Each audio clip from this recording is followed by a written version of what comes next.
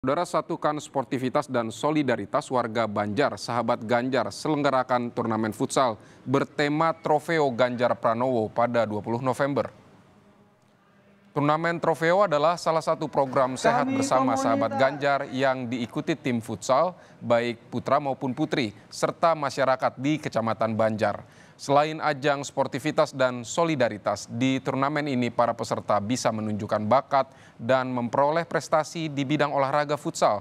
Sahabat Ganjar juga menyelenggarakan senam sehat yang dihadiri ratusan warga di Kabupaten Ciamis dalam rangka deklarasi dukungan untuk Ganjar Pranowo menuju Presiden Indonesia di 2024. Sahabat Ganjar punya program yaitu sehat bersama sahabat Ganjar.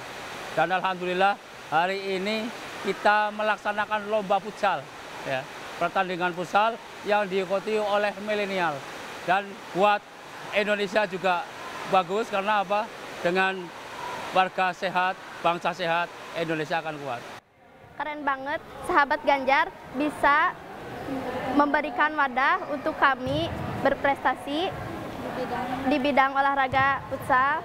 Terima kasih banyak kepada sahabat Ganjar yang telah memberikan wadah untuk kami. Semoga sukses, sehat selalu.